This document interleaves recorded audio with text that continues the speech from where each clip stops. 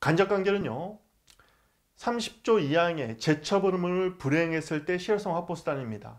이 간접강제가 나중에 행정심판법에도 최근에 반영이 돼서 50조의 2의 행정심판법에도 간접강제가 들어왔다. 30조 2항은요.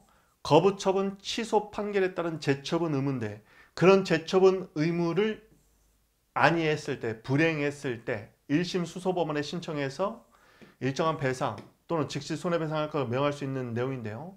객관식 지문에도 많이 나옵니다. 특히 이게 1심 수소법원이라는 것을 알 필요가 있죠. 어, 여기다가 뭐 항소심 법원 이러면 틀려요. 자, 의 요건 뭐 이건 뭐 조문 그대로 쓰면 되기 때문에 별로 중요하지 않습니다.